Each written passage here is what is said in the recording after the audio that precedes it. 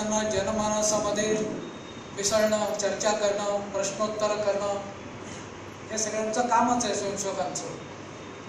एक दहा वीस वर्षापूर्वी असा प्रसंग काही वेळेला यायचा की जरा जास्त चिकित्सक बुद्धीने विचार करणारा एखादा आपला बंधू आम्हाला प्रश्न करता वाजपेयी जी की जो विचारधारा थी वो विचारधारा सबको साथ में लेकर चलने की विचारधारा थी. आपकी विचारधारा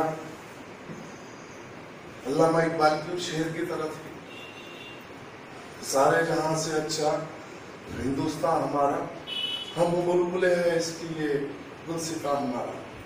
मज़हब नहीं सिखाता, हमें आपस में बैर रखना हिंदी है हम, वतन है हिंदुस्तान हमारा। ये आपकी विचारधारा थी। और मैं एक टाइम फिर श्रद्धांजलि देकर अपने दो शब्द खत्म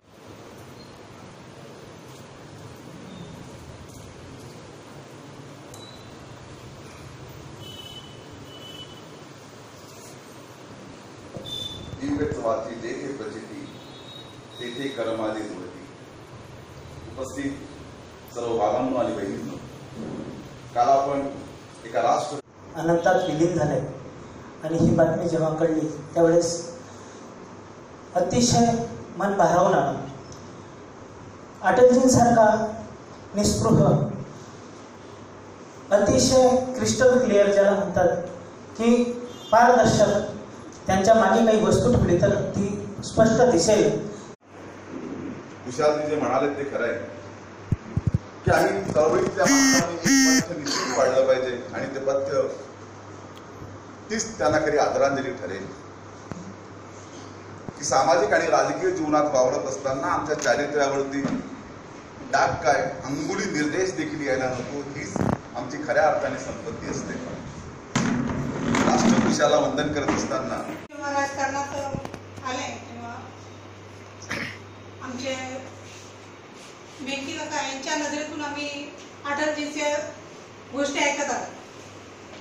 अशा गोष्टी ऐकत आलो हे आम्हाला जाणत होते. आणि खरोखरच अशा व्यक्तीला श्रद्धांजली वाहताना अगदी मन भरून येतं. त्या व्यक्तीने त्यावेळेला आपल्या संघाचे तृतीय सरसंघचालक माननीय बाळासाहेब देवरस हे होते. एका प्रचारक बैठकीमध्ये त्यांच्या असं लक्षात आलं की अटलजींच्या पायामध्ये चप्पल नाही ते अनवाणी प्रवास करताय. तेव्हा बाळासाहेबांनी त्यांना काही पैसे दिले आणि सांगितलं की या पैशांची चप्पल घे आणि वापरत जा. अटलजीबद्दल बोलताना आम्ही काहीच बोलू शकत नाही. कारण आमची नाही उंची पण नाही आहे आणि त्यांची सामर्थ्य पण नाही आहे प्रामाणिक आहे प्रामाणिक पण ज्यावेळेस पुस्तकातून वाचायचो टी व्हीमध्ये बघायचो काही न्यूज बघायचो काही युट्यूबवरती बघायचो. पण त्याच्यामध्ये जसं कवी वडील म्हणायचे त्यांची ती कविता राहायची ते असं वाटतं की मनातून राहायची कुठेतरी. आणि ते हमेशा जर कवी म्हणजे कवी प्रत्येक गंभीर विषयाला त्यांनी कवितेतून उत्तर दिलेलं आहे.